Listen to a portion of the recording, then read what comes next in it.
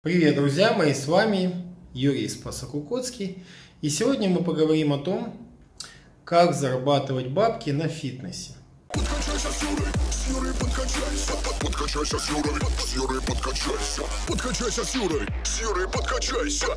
Почему я хочу вам об этом рассказать? Потому что в заработке денег я достиг в своей жизни именно на фитнесе очень больших высот.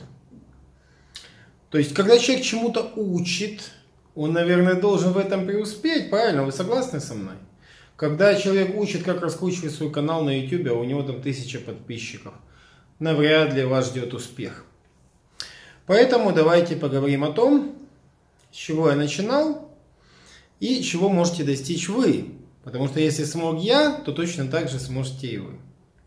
Сейчас желающих зарабатывать деньги на фитнесе, на персональных тренировках очень много. Но у всех ли это получается? Конечно же, не у всех. С чего начнем? Давайте расскажу, чего я достиг.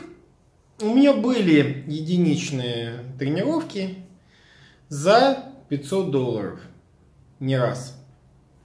Было такое, что просто в качестве бонуса клиент добавлял к тем тренировкам, что я с ним провожу, еще дополнительную премию, например, 500 или 1000 долларов за прошедшие там, месяц или два. То есть мало того, что он за каждую тренировку хорошо платил, там по 50 долларов за тренировку, например, да, он еще давал сверху 500 или 1000 долларов, потому что результат превосходил его ожидания. Поймите, что когда вы работаете с бизнесменом, вы можете договориться с ним о более дорогих тренировках, если вы сможете ему предложить то, что он не сможет купить в другом месте.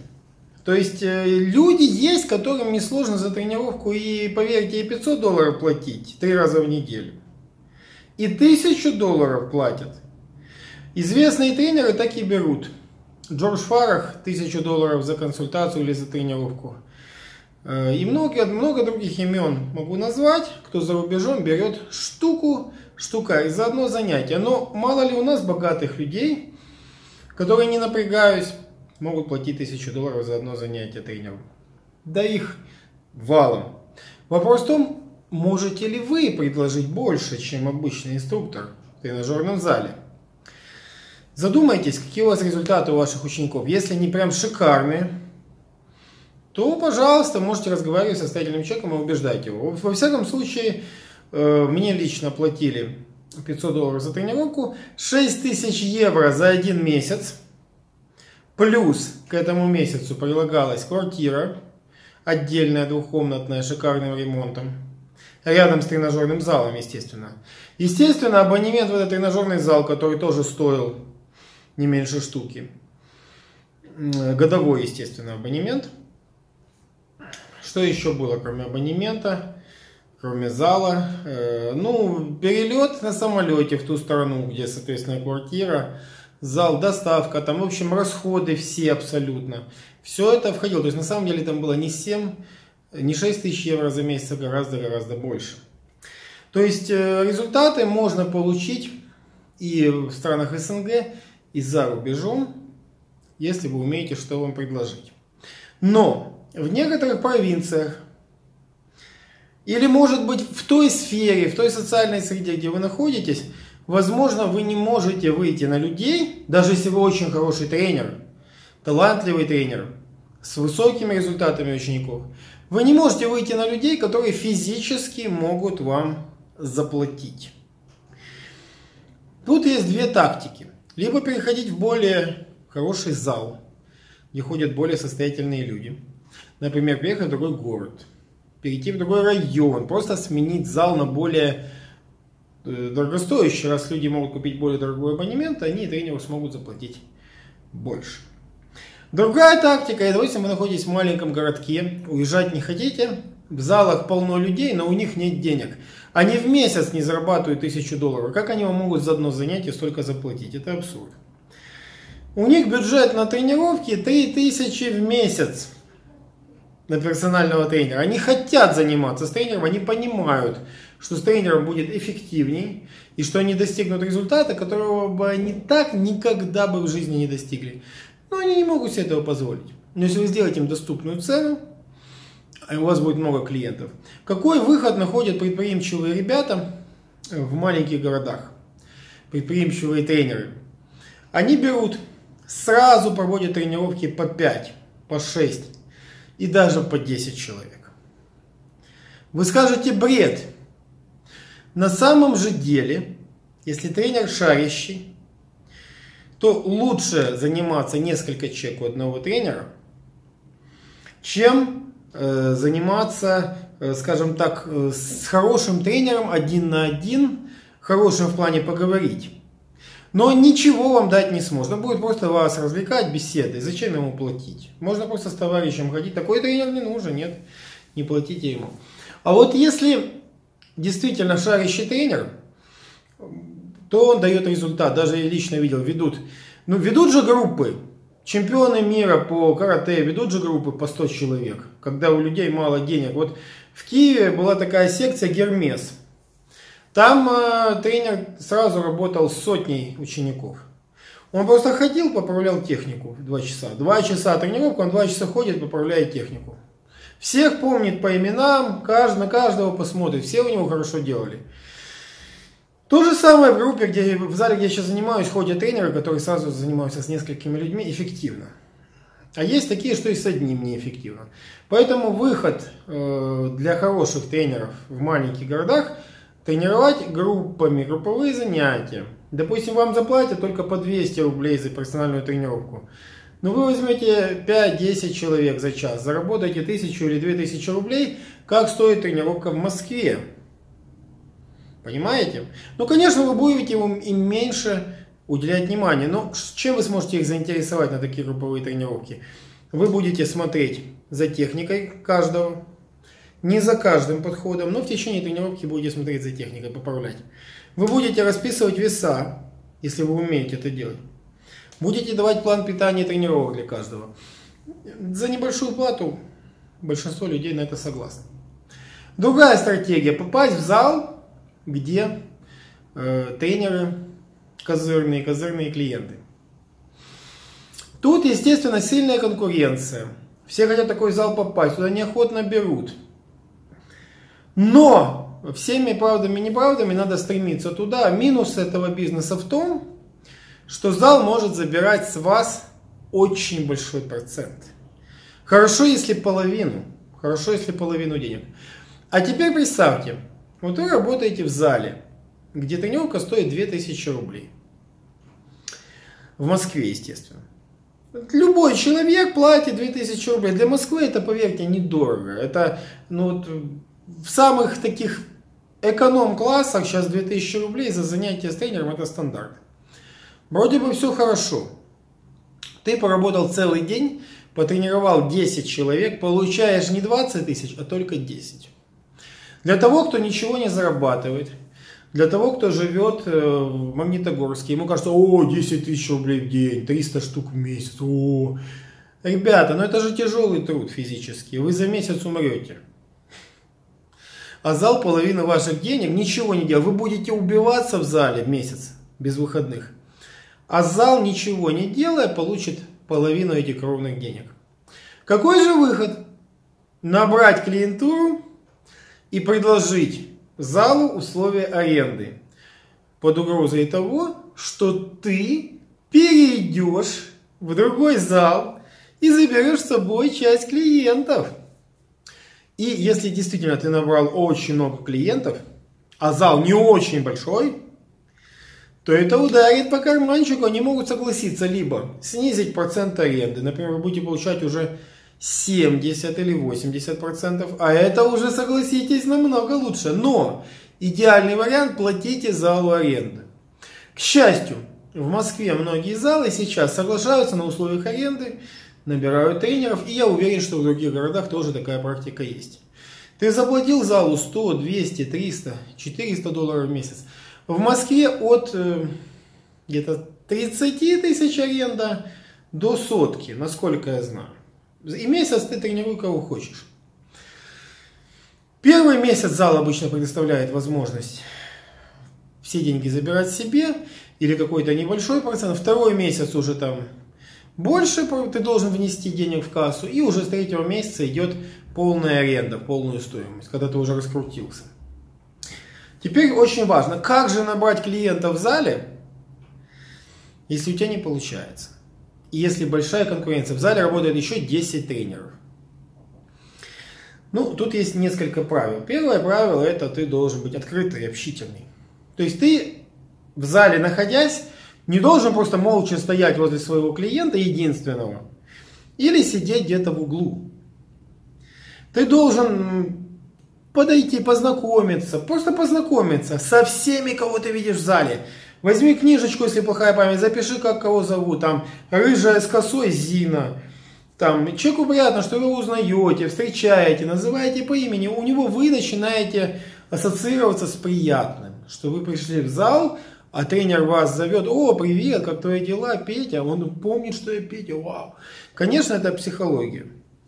Затем, познакомившись с этими людьми, начните, не говорите даже, едва я тебя буду тренировать, давай, не надо сразу это предлагать. Это как девушке предлагать сразу ей интим. Только познакомился Зина, да, пошли со мной. Нет. Нужно начать издали, что вот вы тренируетесь, а довольны вы ли вы результатами, Ах, вы с тренером тренируетесь? А дает ли вам тренер результат? Но это уже называется сманивание. Сманивание это такое не очень чистая игра.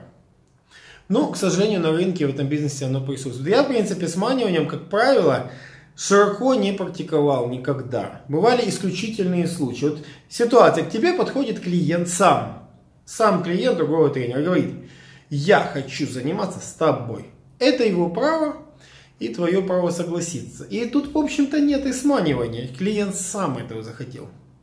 Другое дело, когда человек занимается со своим э, клиентом.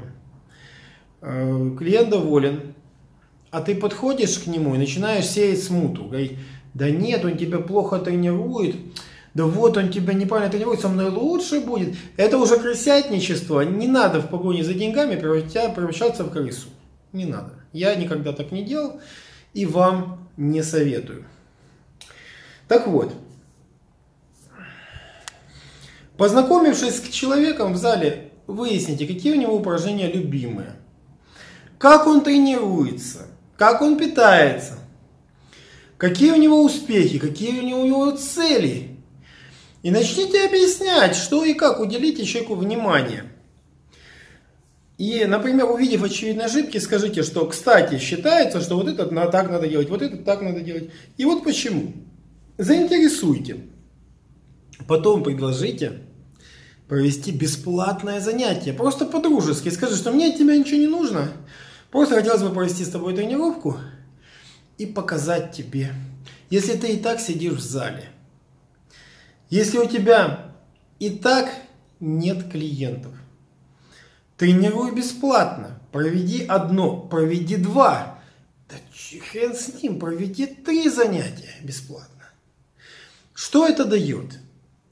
Вот у тебя нет клиента, у тебя ситуация аховая. Ты можешь даже на очень невыгодных для себя условиях соглашаться, лишь бы тренировать. Ты можешь демпинговать, ты можешь тренировать задешево. Ты можешь сказать, ну давай я потренирую 10 занятий. Если ты увидишь результат, ты мне заплатишь. И вы ничем не рискуете, потому что вам нужны клиенты сейчас. Вам надо, чтобы в зале люди увидели, что с вами работают. Срабатывает стадный инстинкт. Когда в зале люди видят, что с каким-то тренером больше всего все тренируются, они начинают к нему уже подбегать. Кстати, существует мнение, что чем популярнее фитнес-блогер, тем больше у него клиентов в тренажерном зале. А нет. Есть вообще не имеющие блога в интернете тренера, у которых круглые сутки расписаны. Это именно работа в зале. Человек в зале ходит, знакомится, общается, в зале находит себе всех людей. Ему не нужна медийность. У него все забито тренировками персональными, к нему очередь. Очередь, сарафанное радио, понимаете, результаты, сарафанное радио. И это я все прошел. Я начал с того, что тренировал одного человека. Долго. В течение года у меня было всего три клиента. Но они ходили стабильно, спасибо им. А потом началось, когда у меня уже стало заниматься 6, 8, 10, 12 человек каждый день. Понедельник, вторник, среда, каждый день стали ходить. Когда уже не смог тренировать свои клиенты понедельник, среда, пятница. Когда мне пришлось ходить 6 дней в неделю, 7 дней в неделю. Вот тогда люди увидели, что на этого тренера есть спрос и прямо таки ажиотаж. Они стали толпой валить. Вдумайтесь, даже у Варгунина, хотя он вроде не такой прям элитный блогер, и даже он, в принципе, известный блогер, но не является там таким элитным качком. У него много клиентов, потому что он умеет общаться. Он умеет общаться, он все, что я вам сейчас рассказываю, он все это понимает. Он, значит, он, значит, хитрый, значит, он втирается доверие, значит, и у него есть хватка. Профессиональный тренер, он может набрать людей в зале, где есть люди. Ему не нужна реклама, не нужна медийность. В то же время у нас есть наш общий знакомый, у которого есть относительно медийный канал на YouTube, и он тренирует одного клиента. Ссылаясь на то, что нет времени, нет желания, на самом деле есть острая нехватка доходов, дела идут плохо, клиенты на самом деле, которые хорошо бы платили, не помешают. Но никакой связи между аудиторией и доходами прямой корреляции нет. Конечно, если уметь монетизировать свою аудиторию, можно найти людей, которые приходят к тебе. Это самый легкий, самый легкий способ поиска высокооплачиваемых клиентов. Но поймите, когда к вам звонят люди, которые смотрят ваш блог, они же могут далеко жить от вас. А когда вы в зале ищете себе клиентов, а им всем сюда ходить удобно. Они уже выбрали этот зал, он территориально им удобен. И вот если вы будете среди них набирать, вы будете обгонять блогера, который даже с большой аудиторией набирает удаленно. Им приходится ездить. Им не, большинству из них неудобен этот зал. А вы набираете людей прямо в зале, им удобен именно этот зал. Им удобно, что тренер находится в зале постоянно. К сожалению, первое время вам придется в зале жить. Вам надо будет не лениться, не стараться побыстрее уйти домой. А наоборот, побольше находиться в зале, носить с собой еду, спать в зале, найти место для сна. Чтобы, во-первых, это очень удобно для посетителей. Пришел в зал, а тренер есть. Пришел в зал, а тренер есть. Представляете, как удобно? Во-вторых, где тут камера? Мне все, все время упрекают, что я смотрю не в камеру, вот здесь. Приходишь в зал, тренер есть. Во-вторых, когда ты постоянно в зале, ты большее количество людей охватываешь, знакомишься, общаешься, больше люди набираются на разное время. Вечером ты в зале наберешь на вечернее время, утром ты зацепишь людей на утреннее время, днем ты зацепишь людей на дневное время. Поэтому набирай, набирай, набирай. И вот наступил момент, когда ты устал. Ты набрал много людей, ты сделал самое главное. Теперь совсем другие правила, все меняется. Никаких бесплатных персоналок. Сначала ты сокращаешь до одной пробной персоналки, а потом ты пробные убираешь. У меня сейчас нет пробных занятий. Я их не провожу. Зачем? Зачем, если я зарабатываю уже достаточно, зачем мне бесплатно отдавать час, если каждый мой час стоит 10 тысяч рублей минимум? Зачем мне его кому-то дарить? У меня нет возможности подождать час, перенести на час, задержаться на час. Человек уже, кстати, многие очень обижаются мои зрители, что не всем отвечаю, не со всеми могу поболтать в личке. Да я вообще ни с кем не могу поболтать, даже с женой не могу поболтать в личке. Почему ты считаешь, что ты важнее моей жены? Ну занят я, я многих тренирую, я многим нужен. Мне надо каждому уделить по чуть-чуть внимания. Не могу я сесть и с тобой час просто так болтать. Просто жизнь у меня такая, не потому что мне впадло с кем-то поговорить. Да я с удовольствием, жизнь такая. Так вот, проблема со временем возникла в зале. Вы 12 часов в зале находитесь. Я в течение многих лет, лет 10, находился в зале по 13 часов. Смена была 13 часов. Это было очень тяжело для меня. Еще когда несколько смен подряд. Вы представляете, как это выматывает. Но, когда вы тренируете людей, это больше утомляет, чем просто быть в зале. Потренировав 10 человек, Ты им постоянно подносишь штангу, ты постоянно подносишь им гантели, постоянно отбрасываешь ноги, когда они качают пресс, помогаешь при страховке ножем лежа, помогаешь встать из приседаний, и ты физическую работу делаешь. Там где-то поднял 20 килограмм, там 30, там 50, там 40, там кого-то подтянул на подтягивание, побросал ноги, и ты чувствуешь, что ты физически выматываешься. Значит, выход. Выбирать те упражнения, где нужно меньше физически напрягаться, или тренировать больше девушек. Ну так не получится, потому что тренер тренирует всех. Если надо подстраховать, ты подстрахуешь. Просто минимизировать. Зачем тебе брать два тренажера в разных концах зала и бегать туда-сюда? Возьми, поставь двух клиентов рядом, на соседних тренажерах, не придется бегать. Таким образом можно сэкономить силы. Зачем качать пресс отбрасыванием ног, если гораздо эффективнее упражнение подъем корпуса с блином? И тебе не надо будет ничего отбрасывать. Негативы тем более хуже работают.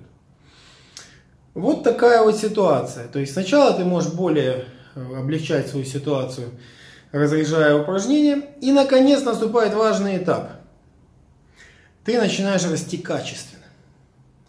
Вершина для тренера качественного роста это, как поступил я, взял свою квартиру и сдал ее за большие деньги. Снял квартиру подешевле. Но зато в одной минуте ходьбы от зала. Вы понимаете, что я сделал? Клиент позвонит, хочу потренироваться, я через две минуты буду. Клиент звонит, ты про меня забыл, а я через две минуты буду. Две минуты же не сложно, не опоздания же нет. Оп, представляете, как удобно. Захотел потренироваться сам, перешел через дорогу, и ты в зале. Вот какой важный шаг для тренера жить не в 10 минутах от зала, не в 5 минутах от зала. Желательно жить в том доме, где находится зал. Вот это идеальный вариант. Сразу будете больше зарабатывать, меньше уставать. Гибкость, мобильность. И вот тренер привязан к своей работе. К сожалению. Почему удаленка?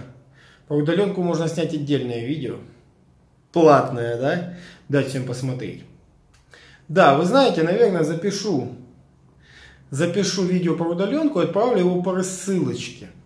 По бесплатной рассылочке. Подпишитесь на телеграм-канал мой.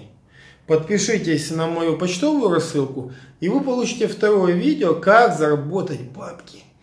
Удаленно. Удаленно, без посещения зала. Еще больше денег будешь зарабатывать и работать будешь в 10 раз меньше. Ну давайте уже дожмем тему залом. Снял квартиру рядом с залом и распределил так. Я тренирую 5 часов в день. 5 часов. 5 часов может качественно поработать тренер, не устав, без потери своей мышечной массы. Но максимум 6 часов. Больше 6 часов качественно тренировать нельзя. Когда тренер тренирует 10-12 часов, последних клиентов он тренирует вот так вот. Он уже как будто провел собственных тренировок 3 или 4, понимаете? Два часа персоналки это как одна своя тренировка. В принципе, за счет всех этих помощи и беготни по залу.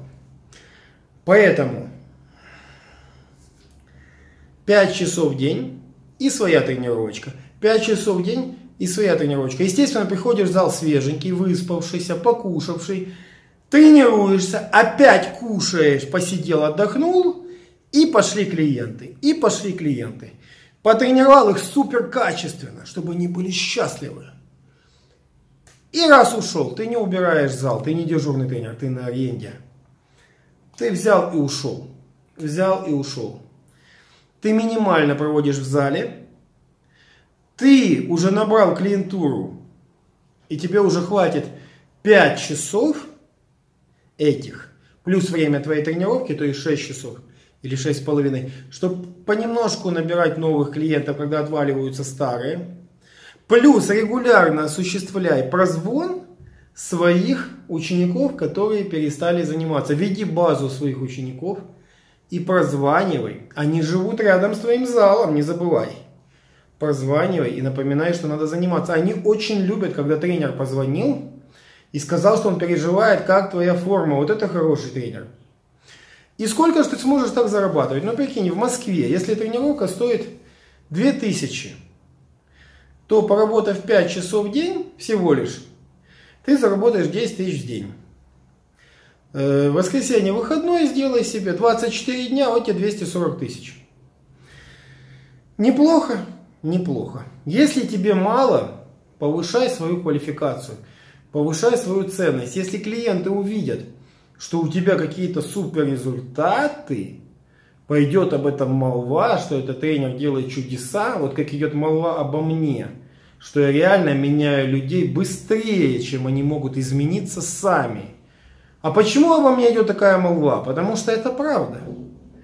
За счет того, что я уже тренировках и в диете собаку съел, я знаю все диеты, я знаю все системы, все тренировки, все варианты перепробовал на себе и на тысячах других людей – то я любому человеку индивидуально подбираю самый короткий путь к его цели. Он получает реальный результат. Когда вы научитесь так делать, вы тоже будете дороже стоить. Просто вот как бы классно общаться, тренировать, вот быть таким харизматичным, давай, давай еще повторчик, мотивировать. Это все офигенно на тренировке, но самое главное, за что тебе заплатят, с чего мы начинали, это результативность. Если ты не умеешь так тренировать, чтобы люди менялись на глазах, чтобы у них были супер результаты, чтобы чемпионское телосложение было без химии. Ну, скажем так, с химией всегда телосложение больше, но вот часто грамотно тренирующийся выглядит лучше, чем безграмотно тренирующийся химик. Так вот, когда вы научитесь так грамотно тренировать, чтобы ваш клиент выглядел лучше, чем химик, тренирующийся неправильно, вот тогда вам начнут платить минимум по 100 баксов за тренировку. Сейчас в Москве моя тренировка стоит около 4000, это более 50 долларов.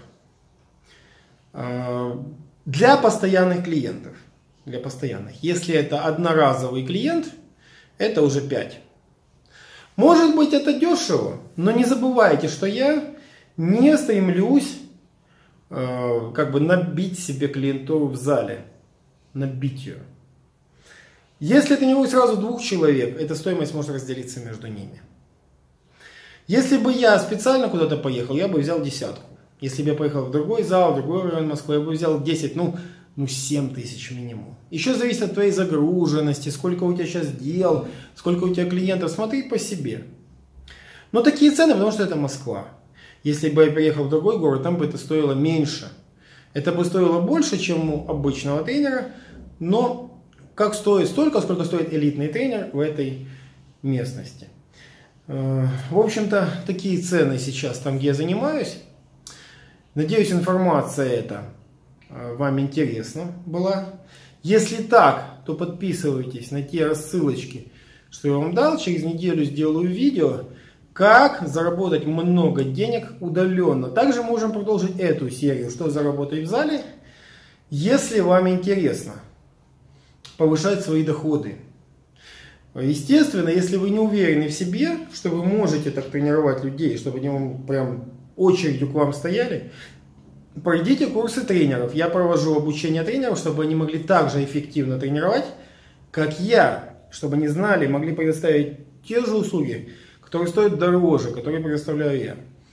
На этом-то, в общем-то, все. Подписывайтесь на мой канал, подписывайтесь на мои рассылки. До новых встреч.